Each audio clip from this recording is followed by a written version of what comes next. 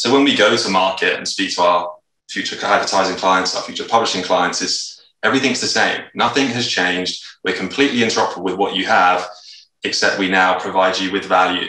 We provide you with an immutable record of all the transactions. You get instant reconciliation of all of who owes what to whom. And um, Neil will testament to this. He, at Mindshare, a week of every month is set aside for reconciliation, which again, rolled out over a year's 12 weeks is a significant amount of time spent matching spreadsheet to spreadsheet.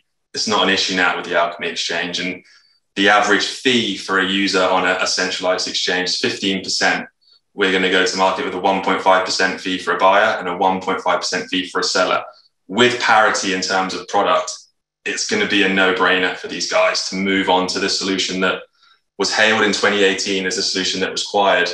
And now it's a bit more pertinent because cookies disappearing, which have underpinned the entire digital ad industry for the last 20 years. So we don't really believe that the solution is ID. The solution is yield.